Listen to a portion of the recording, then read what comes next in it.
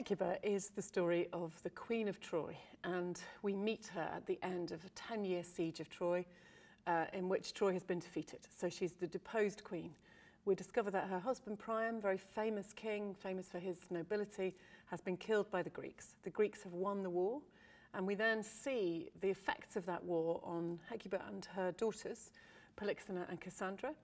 Uh, they're taken by boat as refugees to a place called Thrace on the coast. Uh, they get stuck there because the, there's no wind, so they can't, can't keep going. They want to take them all the way to Greece. And then a terrible thing happens where Agamemnon, the new king of uh, the Greeks, he is forced by his men or encouraged by his men to demand a sacrifice.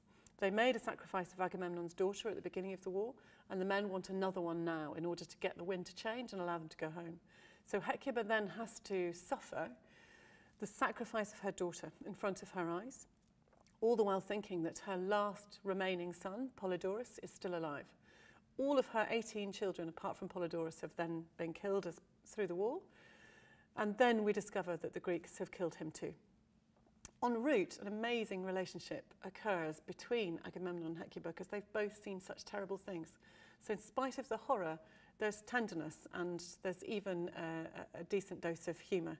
But it is a play that's about a really tough war and the effects on the women and children of what that war has done to a, to a civilization.